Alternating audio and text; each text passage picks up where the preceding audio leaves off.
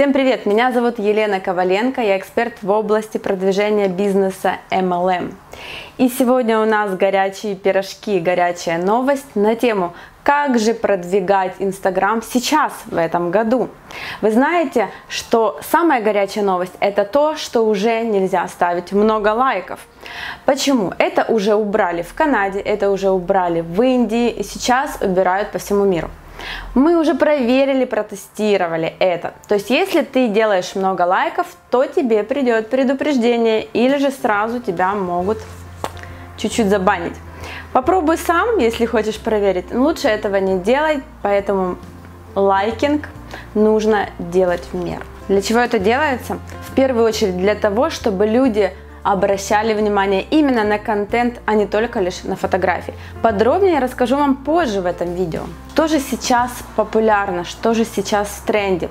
Люди уже перестали обращать внимание только на фотографии. Да, конечно, если у тебя на фотографии э, лапша доширак на фоне ковра, ты ее уплетаешь за обе щеки и рассказываешь про миллионы, то видео не будет э, совпадать с аудио, и, конечно, человек будет думать, наверное, что-то здесь не так, он к тебе не пойдет.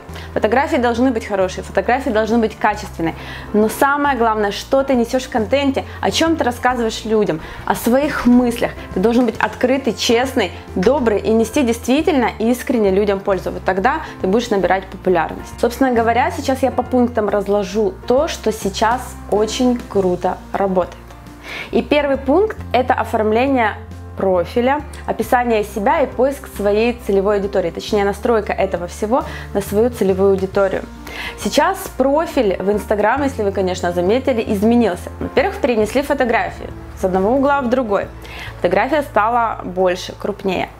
Название профиля стало больше и выше и описание также поменялось. Поэтому вам обязательно нужно все это переделать, потому что формат старого не вписывается в формат нового и будет визуально все неправильно преподнесено.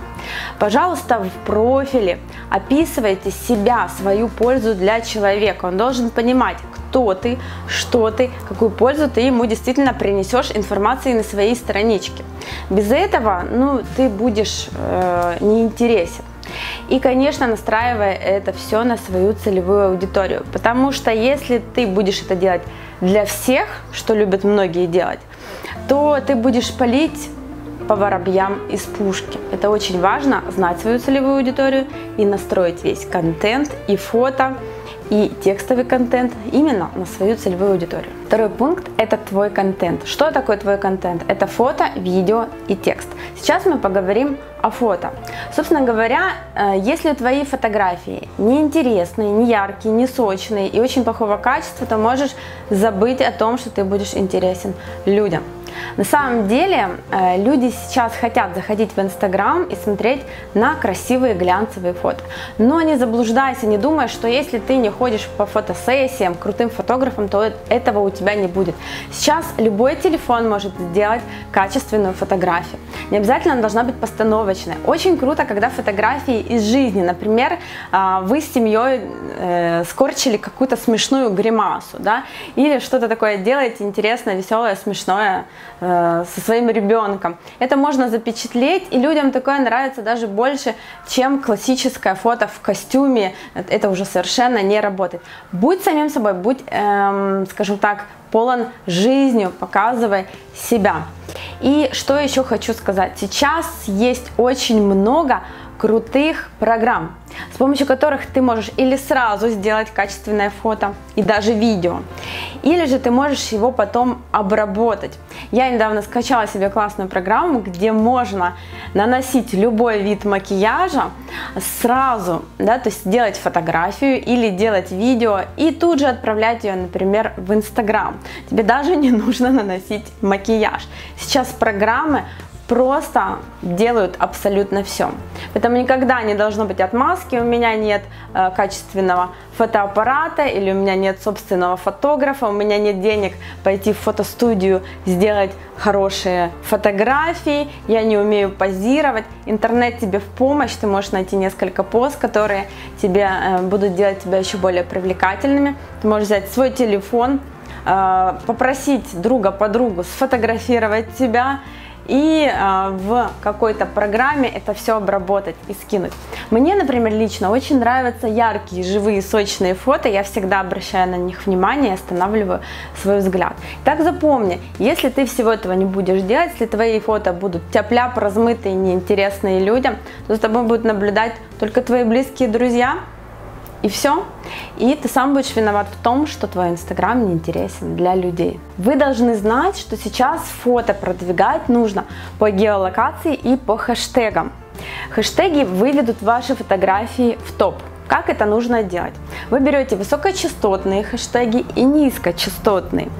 И в комментариях под вашей фотографией до 30 таких хэштегов вы оставляете. Следующий момент это видео.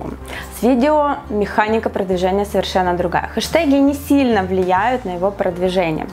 А, можно сделать несколько хэштегов а, под видео и они должны быть тематические, то есть рандомные, случайные. Например, если это тема продвижения Инстаграм, то вы пишете хэштег продвижения Инстаграм. Ничего здесь сильно выдумывать не нужно. Что же влияет на продвижение вашего аккаунта с помощью видео?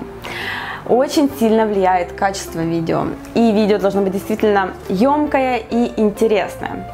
Тогда, когда человек например, смотрит видео, похожее по этой тематике, и ваше видео до этого попало в раздел «Интересные», то Инстаграм сам предложит ему посмотреть ваше видео, так, оно, так как оно похоже на то, которое он уже просматривал. Это и будет продвигать таким образом ваше видео.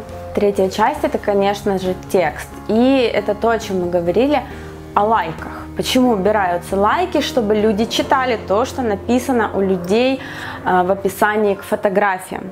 И здесь уже Инстаграм дает больше э, моментов для самовыражения, для реализации своего внутреннего мира и своей экспертности. Если это бизнес-аккаунт, то вы должны делиться только вытяжками, только мясом, только всем самым интересным, чтобы для вашей целевой аудитории вы были экспертом, вы были профессионалом. Лейте воду и не копируйте у других людей. Это вам огромный минус. Если вы транслируете свой стиль жизни, свой лайфстайл, то, конечно же, должны быть факты о вас, чтобы человеку было интересно о вас побольше узнать. Какие-то юмористические истории, да, что-то интересное, смешное и в то же время, опять же, емкое, чтобы это не была просто вода. Иногда пишите посты на те темы, которые резонируют и непривычны для вашей аудитории. Таким образом вы будете привлекать также новую аудиторию. Например, если ваши посты были достаточно серьезной форме, иногда добавляете юмор, немножко кекса или чего-то подобного. И посмотрите, насколько это будет привлекать к вам новых людей. После контента э, следующий интересный пункт – это сторис. Сторис – это часть определенной автоворонки. Это твое личное реалити-шоу. Раньше, вот честно вам скажу, э, не очень нам хотелось снимать сторис. Мы этот инструмент вообще не понимали, не принимали, и очень зря. Ну, всему, как говорится, свое время. Может быть, с сегодняшнего дня ты этот инструмент начнешь активно применять. Так вот, сейчас очень многие люди даже пишут нам, что они вместо сериалов смотрят наши сторис. Это очень приятно. Почему так происходит? Потому что сторис, во-первых, их видно э, в первую очередь, а потом уже только э, видна новостная лента. И э, вот эти вот иконки круглые, на них так и хочется нажать пальчиком и посмотреть, что же у человека произошло. Что же транслировать в сторис? Конечно же, в первую очередь, это ваш лайфстайл. Показывайте просто свою жизнь. Людям интересно подглядывать, почему они смотрят реалити-шоу, почему они смотрят сериалы, потому что у людей э, есть такое чувство, точнее такая черта характера, как любопытство. И благодаря этому любопытству люди смотрят сторис. И сейчас эм, публика разделилась на две части. Первая это те, кто смотрит активно сторис, и вторая, кто продолжает листать новостную ленту. Так вот, если в процентном соотношении, то 70% смотрят все-таки сторис и 30% листают новостную ленту. Что еще можно кидать сторизы. Если вы, например, строите какой-то бизнес, то, конечно же, вам надо показывать результаты ваших партнеров, ваши результаты. Все то, что может привлечь вашу целевую аудиторию. Но не забывайте, конечно же, что в первую очередь это лайфстайл. Подробнее смотрите на моем канале, у меня есть несколько видео, более конкретно описывающие эту функцию Stories. Так вот, если вы хотите привлечь на какой-то свой пост, на, именно на свой текст, на свой контент, на свою фотографию людей через Stories, то есть создать такую определенную автовороночку, то нужно в Stories что-то кричащее сделать. Например, как я переехала в 25 лет в Силиконовую долину. Читайте в моем новом посте. Да, и ссылочку на этот пост. Также сейчас очень много интересных стикеров, которые могут ввести в интерактив с вашим зрителем и э, вы будете общаться с людьми, это интересно, какую-то игру, опрос, да, и так далее и тому подобное. Пользуйтесь всем этим, Инстаграм вам это дает каждый день. Следующий рабочий инструмент – это взаимопиар. Вы можете найти человека, пусть это будет блогер, и просто человек, у которого много подписчиков, и это ваша целевая аудитория. И благодаря э, подпискам, взаимопиару, э, например, вы можете дать свой, свою какую-то фотографию с описанием бизнеса, человек поставит в свою сторис, да, а он даст вам также свою фотографию поставите себе в сторис. Но не забывайте, что это нужно делать не в один день, лучше пусть перерывчик будет неделя. И тогда вы просто будете делиться аудиторией друг с другом, особенно если она схожа, это ваша одна целевая аудитория. Например, если это какое-либо брачное агентство или магазин косметики, а вы занимаетесь сетевым бизнесом и основной продукт у вас косметика. Тоже очень хорошо вот так вот делиться друг с другом и тем самым увеличивать охват. Следующий момент, проводите конкурсы и giveaway. Вы можете их проводить сами, можете в них участвовать, вариантов огромное количество. Для чего это нужно? Для того, чтобы, конечно же, к вам на страничку приходило большое количество подписчиков и целевой аудитории. Опять же, смотрите, чтобы в гивах целевая аудитория была ваша. Как это сделать? Смотрите тоже видео на нашем канале. Так вот, прежде чем вы начнете лить такой трафик себе на страничку в виде конкурсов и гивов, вы обязательно убедитесь, что ваша страничка действительно интересная, потому что люди пришли, а потом, останутся они или нет, уже вопрос вашего контента. Следующий момент – это платная реклама у блогеров. Не обязательно выбирать каких-то дорогостоящих и знаменитых блогеров, а можно просто выбрать блогера среднего звена, скажем так. Но только перед тем, как э, с ним начать вести диалог, вы должны посмотреть, какая у него активность на странице, популярен ли он. Следующий интересный метод, очень популярный, участие в СФС у блогеров.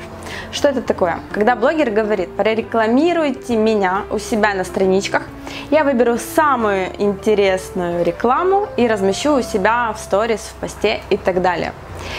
И э, вы, кстати, сможете впоследствии, когда вы станете популярным, тоже устраивать такие СФС-очки у себя на страничке. Кстати, обратите внимание, чтобы у этих блогеров на странице была именно ваша целевая аудитория. Это ведь очень важно. Следующий метод – это использовать уже существующие ресурсы. Первое. В Инстаграме есть прям такой пункт «Пригласить друзей» из WhatsApp, из ВКонтакте или из телефонной книги, откуда угодно. Ну, в общем, вы можете просто на нее нажать, пригласить своих друзей. Второе. Если у вас есть контакты, то вы можете по ним раскидать email рассылку, что вот у вас есть классный инстаграм аккаунт, приходи ко мне, стань моим другом.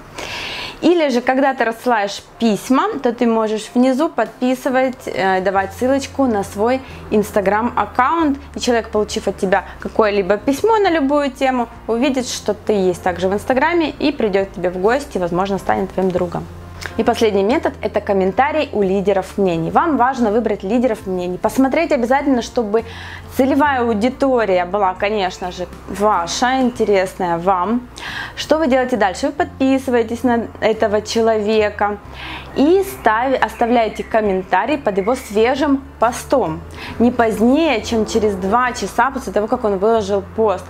Как же узнать, когда этот человек выложил новый пост. Вы заходите на любой пост этого человека, выбираете в правом верхнем углу три точечки, и вам выходит такое меню, где написано «Включить уведомления о публикациях». И вам будет приходить уведомление о новом посте от этого человека. Тогда вы пишите комментарий. Что же нельзя делать в комментариях под этим постом?